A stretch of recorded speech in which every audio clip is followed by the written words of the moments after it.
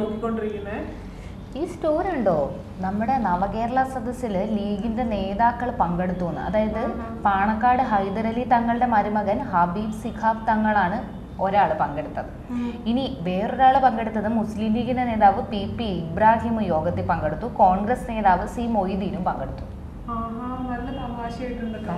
കാരണം എന്താണെന്നറിയോ? ഞാൻ ചോദിക്കട്ടെ കഴിഞ്ഞ ദിവസമല്ലേ സുധാകരൻ പറഞ്ഞത് അതിന്റെ ലോക്കൽ നേതാക്കൾ മാത്രമേ പങ്കെടുത്തിട്ടുള്ളായിരുന്നു പ്രമുഖരായിട്ടുള്ള നേതാക്കൾ ആരും പങ്കെടുത്തിട്ടില്ല എന്ന്. പിന്നെ ഇതെന്താ വാർത്ത? നോക്കിക്കേ. അല്ലേ നോക്ക്. ഇതിപ്പോ എന്തായാലും വിവാദമായിക്കൊണ്ടിരിക്കുന്ന ഒരു വിഷയമാണ് അല്ലേ ലീഗ് തീർച്ചയായിട്ടും. തീർച്ചയായിട്ടും ലീഗ് നവകേരള സദസ്സിൽ പങ്കെടുക്കുന്ന ഇത് ആദ്യമല്ല കോഴിക്കോട് നേരത്തെ പങ്കെടുത്തു. ഇത് ഇത് കഴിഞ്ഞിട്ടാണ് ഇപ്പൊ മലപ്പുറത്തേക്ക് വന്നേക്കുന്നത് എന്തായിരിക്കുമല്ലേ അതിന്റെ കാരണം? ഇല്ലെങ്കിലും കാണാതിരിക്കത്തില്ലല്ലോ. നസീപരമായി നോക്കുമ്പോൾ അത്. നവകേരള സദസ്സിൽ ആദ്യം മുതലേ നവകേരള സദസ്സ് വന്നപ്പോഴേ വി ഡി സതീശൻ പറഞ്ഞായിരുന്നു കോൺഗ്രസ് നേതാക്കൾ ആരും പങ്കെടുക്കരുത്. പങ്കെടുക്കരുത്. ഒരു ഭീഷണിയുടെ സ്വരം കൂടെ വി ഡി സതീശന്റെ വാക്കുകളിലുണ്ടായിരുന്നു. പങ്കെടുക്കരുത് പങ്കെടുത്താൽ സ്ഥാനം നഷ്ടമാകും. നഷ്ടമായി. എത്ര എത്ര പേരുടെ ഇപ്പൊ നവകേരള സദസ്സിൽ പങ്കെടുത്ത് കുന്തമംഗലം ബ്ലോക്ക് പഞ്ചായത്തിന്റെ പ്രസിഡന്റിന്റെ സ്ഥാനം പോയി. പിന്നെ മണ്ഡലം ഒത്തിരി മണ്ഡലം പ്രസിഡന്റുമാരുടെ സ്ഥാനം നഷ്ടമായി.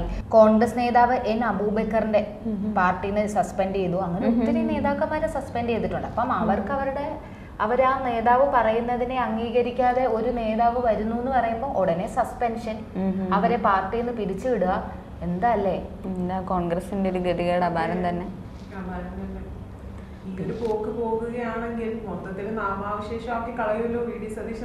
അല്ല നവകേരള സദസ്സിൽ പങ്കെടുക്കുന്ന പങ്കെടുത്തപ്പോഴേ നേതാക്കന്മാർ പറഞ്ഞു ഇത് പാർട്ടി പാർട്ടിയെ നോക്കിയോ അല്ലെങ്കിൽ രാഷ്ട്രീയം നോക്കിയോ അല്ല പങ്കെടുക്കുന്നത്. തങ്ങളുടെ പ്രശ്നങ്ങൾ സർക്കാരിനെ അറിയിക്കുക എന്നുള്ളതാണല്ലോ. ജനങ്ങളിലേക്ക് സർക്കാർ ഇറങ്ങിച്ചെല്ലുന്ന ഒരു പദ്ധതി എന്തിനാണ് കോൺഗ്രസ്സുകാർ ഇങ്ങനെ പേടിക്കുന്നത് എന്നുള്ളതാണ് അതെ എലക്ഷൻ അടുത്തിരിക്കുന്ന ഈ ഒരു സമയത്ത് നവകേരള സദസ്സ് പോലുള്ളൊരു ജനകീയമായിട്ടുള്ള പരിപാടി ഇടതുപക്ഷം കൊണ്ടുവരുമ്പോൾ ഒരു മൂന്നാമത്തെ ഭരണം ഇടതുപക്ഷ സർക്കാരിന് കിട്ടുമോ എന്നുള്ളൊരു ഭയം സ്വാഭാവികമായിട്ടും കോൺഗ്രസിനുണ്ടാകും ഈ ഒരു സാഹചര്യത്തിൽ അതുകൊണ്ടായിരിക്കാം അതുകൊണ്ടായിരിക്കാം എന്നല്ല അതുകൊണ്ട് തന്നെയാണ് കോൺഗ്രസ് നവകേരള സദസ്സിനെ പേടിക്കുന്നതും ഇടതുപക്ഷത്തെ പേടിക്കുന്നതും. പക്ഷേ- അതുകൊണ്ടാണ് ഇത്രയധികം മുഖ്യമന്ത്രിയെ വിമർശിക്കുന്നതും. V D. സതീശൻ തന്നെ ഇപ്പം എത്രയോ പ്രാവശ്യം അദ്ദേഹം ക്രിമിനൽ ആണെന്നും അതുപോലെ കരിങ്കൊടി ഇപ്പം. ഇന്ന് വന്നൊരു ന്യൂസ് ശ്രദ്ധിച്ചിരുന്നു ആരെങ്കിലും? അയ്യപ്പന്മാരെ കാണുമ്പോൾ എന്താ കരുതൽ തടങ്കലിലാക്കും മുഖ്യമന്ത്രി അയ്യപ്പന്മാരെ കാണും. കാരണം എന്താണ്? അയ്യപ്പന്മാര് കറക്കൊടുത്തിട്ടാണ് വരുന്നത്. അപ്പം കരിങ്കോടി കാണുന്നതിന് സമമാണ് അയ്യപ്പന്മാരെ കാണുന്നതെന്നാണ് വി ഡി. സതീശൻ അവിടെ പറഞ്ഞു വെക്കുന്നത്. അതുകൊണ്ട് അതുകൊണ്ട് എന്താണ്? സത്യം പറഞ്ഞാൽ കോൺഗ്രസ്സുകാർ ശരിക്കും ഭയക്കുന്നത് സത്യത്തിൽ പറഞ്ഞു കഴിഞ്ഞാൽ ഇടതുപക്ഷം അല്ലെങ്കിൽ എൽ ഡി എഫ് സർക്കാർ വീണ്ടും വരുമോ എന്നുള്ളത് അതെ ആ ഒരു പേടി തന്നെയാണ് കോൺഗ്രസിന്റെ ഭാഗത്തു നിന്നുണ്ടാവുക തന്നെയല്ല ഇതിൽ ഏറ്റവും വലിയൊരു ഇതെന്ന് പറഞ്ഞാൽ ലീഗും കൂടെ അവിടെ പാലസ്തീൻ ഇസ്രായേൽ റാലി വരുന്ന സമയം അതിന്റെ ആ വിഷയത്തെ സംബന്ധിച്ചൊരു റാലി വന്ന സമയത്ത് ലീഗ് സി പി എമ്മുമായിട്ട് ഒന്ന് കക്ഷി ചേരാനായിട്ട് ശ്രമിച്ചിരുന്നു. അപ്പം അതിൽ. ഹാലിളകി നിൽക്കുകയാണ് കോൺഗ്രസിന്റെ നേതൃത്വം. കാരണം ലീഗ് പോയി കഴിഞ്ഞാൽ കോൺഗ്രസ് ഇല്ല. അതൊന്ന് മനസ്സിലാക്കണം ഏ ലീഗിന്റെ വോട്ട് മേടിച്ച ആൾക്കാരാണ് കോൺഗ്രസിലുള്ളത് ഏ? അപ്പം ലീഗ് സി പി എമ്മിലേക്ക് വന്നു കഴിഞ്ഞാൽ കോൺഗ്രസിന്റെ അവസ്ഥ എന്താവും? അതൊരു ചർച്ചാ വിഷയമല്ലേ? തീർച്ചയായിട്ടും.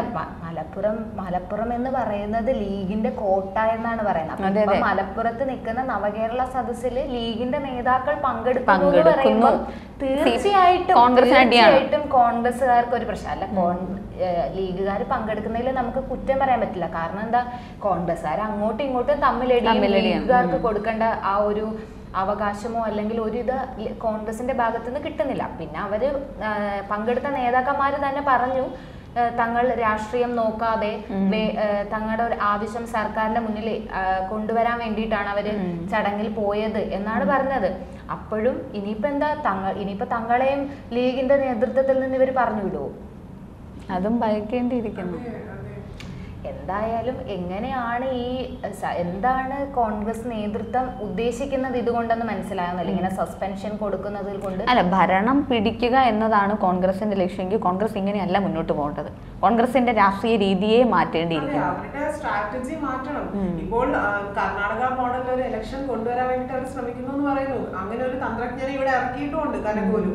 അപ്പം അത്രയും ബുദ്ധി കേന്ദ്രമായ ഒരു വ്യക്തി ഇവിടെ ഇറക്കുമ്പോൾ അദ്ദേഹം അതനുസരിച്ചിട്ടുള്ള സ്ട്രാറ്റജീസ് ഫോളോ ചെയ്യണം. അല്ലാതെ കുറെ വിദ്യാർത്ഥികളെ കൂട്ടുപിടിച്ചിട്ട് അവരോ അവരിൽ കുറെ വിഷം കുത്തിവെച്ച് അത് കോളേജുകളിലെല്ലാം കൊണ്ടുവന്ന് അവിടെയാണ് കനകോലുവിന്റെ ബുദ്ധി. കാരണം എന്താണെന്നറിയോ? ഇപ്പം കനകോലു നോക്കുമ്പം സി പി എമ്മിന്റെ അല്ലെങ്കിൽ എൽ ഡി എഫിന്റെ ശക്തി എന്ന് പറയുന്നത് എസ് എഫ് ഐ എന്ന് പറയുന്ന വിദ്യാർത്ഥി സംഘടനയാണ്.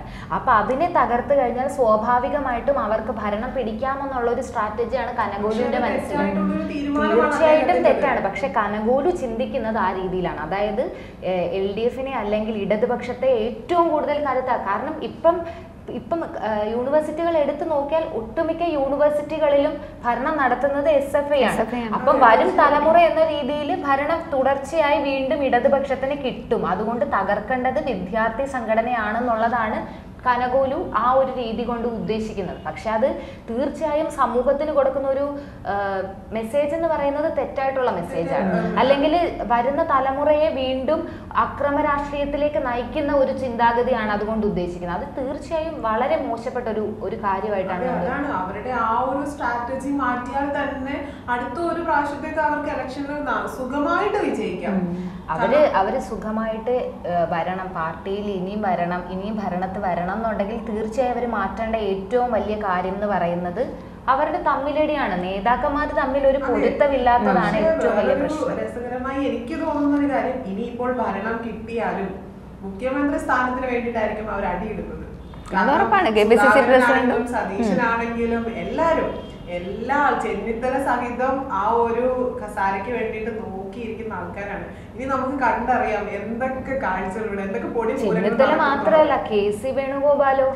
അദ്ദേഹമാണ് ഏറ്റവും കൂടുതൽ കസേര നോട്ടം ഇട്ടേക്കുന്നത് പുള്ളി ട്വിസ്റ്റ് ആയിട്ട് നോക്കിയോ? കേന്ദ്രത്തിൽ നിന്ന് പതുക്കെ ഇങ്ങനെ വന്ന് ഇറങ്ങി. മുഖ്യമന്ത്രി മുഖ്യമന്ത്രി പക്ഷെ വരുന്ന ഇലക്ഷനിൽ കെ സി വേണുഗോപാൽ മത്സരിക്കുന്നില്ലെന്നാണല്ലോ പറഞ്ഞത്. അല്ല ആലപ്പുഴയിൽ നിന്ന് മത്സരിക്കും എന്നുള്ള ഒരു രീതി തന്നെയാണ്. കാരണം ഇപ്പം അതൊക്കെ അവരുടെ സ്ട്രാറ്റജി അല്ലേ? കെ സി വേണുഗോപാൽ പേടിക്കുന്നുണ്ട്. സ്ഥാനം പോകും എന്നുള്ളത് കെ സി സ്ഥാനം വേണുഗോപാലെ പേടിക്കുന്നുണ്ട് നന്നായിട്ട്. കാരണം എന്തുകൊണ്ടാണെന്ന് പറയട്ടെ? ആലപ്പുഴയിൽ ആരിഫാണ് നിൽക്കുന്നത്. അപ്പം ആരിഫിന് അധികം ജന പിന്തുണയുണ്ട്. അപ്പൊ അതുകൊണ്ട് തന്നെ വേണുഗോപാലിന് പേടിയാണ് അവിടെ വന്ന് മത്സരിക്കാൻ വേണ്ടിട്ട് മത്സരിച്ചു കഴിഞ്ഞാൽ തന്റെ കയ്യിൽ ഇരിക്കുന്ന സ്ഥാനം സ്ഥാനം നഷ്ടമാകും. തീർച്ചയായിട്ടും അദ്ദേഹത്തിന് അത് അറിയാം. തവണ. കഴിഞ്ഞ തവണ എം പി സ്ഥാനത്തേക്ക് മത്സരിച്ച സമയത്ത് ആലപ്പുഴയിൽ മാത്രമാണ് നമുക്ക് ഇടതുപക്ഷത്തിന് എം പി സ്ഥാനം കിട്ടിയത്. പിന്നീടാണ് കോട്ടയത്ത് കേരള കോൺഗ്രസ് മാറിയപ്പോൾ ഒരു എം പി സ്ഥാനം കൂടെ കിട്ടിയത്. പക്ഷേ അതുകൊണ്ട് തന്നെ ഒന്ന് ആലോചിച്ചു നോക്കുക ആലപ്പുഴയിൽ ഇനി നിൽക്കാൻ ആരായാലും കോൺഗ്രസിലെ ഏത് നേതാവായാലും ഒന്ന് പേടിക്കും. കാരണം ആലപ്പുഴയിൽ ആരിഫിന് അത്രയേറെ ജനപിന്തുണയുണ്ട്. അപ്പം സ്വാഭാവികമായിട്ട് അതുകൊണ്ട് തന്നെയാണ്. എന്നാലും മത്സരിക്കില്ല എന്ന് പറയാൻ പറ്റില്ല. ആലപ്പുഴ അല്ലെങ്കിൽ വേറൊരു മണ്ഡലത്തിൽ മത്സരിക്കുക അല്ലെങ്കിൽ വേറൊരു ഇതിൽ മത്സരിക്കാമല്ലോ. അപ്പം നമുക്ക് മത്സരിക്കില്ല എന്ന് പറയാൻ പറ്റില്ല. പക്ഷേ പേടിയുണ്ട്. പേടിയുണ്ട്. എന്തായാലും കോൺഗ്രസിന്റെ ഇലക്ഷൻ അവിടെ നിൽക്കട്ടെ. നവകേരള സദസ്സിലേക്ക് തിരിച്ചു വരുമ്പോൾ ലീഗ് തീർച്ചയായിട്ടും സി പി എമ്മിന് ഒരു സപ്പോർട്ടായി വരുമോ ഇല്ലയോ? അതെ. അങ്ങനെ ഒരു- അതെ. പാലസ്തീന്റെ വിഷയം മുതലാണ് നമുക്ക് ലീഗിന് സി പി എമ്മിലേക്ക് ഒരു ചായ്വ് നമുക്ക് തോന്നി തോന്നി തുടങ്ങിയത്. അതിന് മുന്നു വരെയും ഇല്ല ഉണ്ട് എന്നുള്ള രീതിയിലായിരുന്നെങ്കിലും പല നേതാക്കന്മാരും ലീഗിന്റെ മുൻ നേതാക്കന്മാരൊക്കെ സി പി എമ്മിനോട് ഒരു അടുത്ത് നിൽക്കുകയാണ്. സി പി എമ്മും അതെ ഇതിപ്പം ഏറ്റവും വലിയ കാര്യം എന്താണെന്നറിയോ? ലീ ഇടതുപക്ഷം എതിർക്കുന്നില്ല എങ്കിൽ പോലും ഇടതുപക്ഷത്തിന്റെ സ്ട്രാറ്റജി ഒന്ന് നോക്കുക. ആര് വന്നാൽ പോലും അവരെ ഇടി കഴിഞ്ഞിട്ട് സ്വീകരിക്കുന്ന സ്വീകരിക്കുന്ന ഒരു നിലപാടാണ് ഇടത് സർക്കാർ സ്വീകരിച്ചിരിക്കുന്നത്. എന്നാൽ മുസ്ലിം ലീഗിന്റെ ആണെന്നോ അല്ലെ കോൺ- അങ്ങനെ ഒരു വേർതിരിവേ ഇല്ല. ആളുകൾ ജനങ്ങൾ സർക്കാരിലേക്ക് വരുന്നു കാര്യങ്ങൾ അവതരിപ്പിക്കുന്നു. അതിനെ എന്തിനാണ് കോൺഗ്രസ് വേറൊരു രീതിയിലേക്ക് വ്യാഖ്യാനിക്കുന്നത്? കേരളീയത്തെയും ഇതുപോലെ വേറൊരു രീതിയിൽ വ്യാഖ്യാനിച്ചു? അവസാനം അവർ നേതാക്കന്മാർ തന്നെ പോയി പങ്കെടുത്തു. പിന്നെ പശ്ചാത്താപം. എന്താണ് കോ- അല്ലേ? കോൺഗ്രസിന്റെ കാര്യങ്ങളൊന്ന് ആലോചിച്ച് നോക്കണം. അതുപോലെ ദേ ഇപ്പം നവകേരള സദസ്സ് എല്ലാത്തിനെയും ഇങ്ങനെ എതിർത്ത് എതിർത്ത് വി ഡി സതീശൻ മുന്നേറിക്കൊണ്ടിരിക്കുകയാണ്. അപ്പൊ എന്തായാലും ഇനിയിപ്പോ നമ്മൾ പറഞ്ഞു വരുമ്പോഴത്തേക്കും മുസ്ലിം ലീഗ് സി പി എമ്മിലേക്ക് വരുമോ എന്നുള്ളതാണ്. അതിപ്പോ നമുക്ക് ഇപ്പൊ തീരുമാനിക്കാൻ പറ്റിയില്ലെങ്കിലും തിരഞ്ഞെടുപ്പ് ലോക്സഭാ ഇലക്ഷൻ കഴിഞ്ഞ് മലപ്പുറത്ത് അവർക്ക് ആ നേട്ടം കിട്ടിയില്ല എന്നുണ്ടെങ്കിൽ ഒരു ഒരു നൂറ് ശതമാനം അല്ലെങ്കിൽ നൂറ് ശതമാനം അല്ല ഒരു എൺപത് ശതമാനവും രാഷ്ട്രീയ നിരീക്ഷകർ വിലയിരുത്തുന്നത് ലീഗ് സി പി എമ്മിലേക്കോ അല്ലെങ്കിൽ ഇടതുപക്ഷത്തോട്ട് ചായ ഒരു സാധ്യതയുണ്ട്. ഒരു പക്ഷേ വരുന്ന ലോക്സഭ ഇലക്ഷനിൽ വോട്ട് മറിയാൻ നല്ല ചാൻസ് ഉണ്ട് അപ്പൊ എന്തായാലും നമ്മൾ കാത്തിരുന്ന് തന്നെ അറിയണം ലോക്സ് എന്താണ് ലീഗിന്റെ തീരുമാനം. എന്താണ് ലീഗ് ലീഗ് എടുക്കാൻ പോകുന്ന തീരുമാനം എന്നുള്ളത് നമുക്ക് കാത്തിരുന്ന് തന്നെ അറിയാം. സി പി എമ്മിലേക്ക് വരുവോ? ഇല്ലയോ? ഇല്ലയോ? അതോ കോൺഗ്രസിന്റെ കൂടെ നിൽക്കുവോ? അടുത്ത ഭരണം കൈപ്പത്തി പൊങ്ങുവോ എന്നുള്ളതൊക്കെ കാത്തിരുന്ന് തന്നെ. കാണാം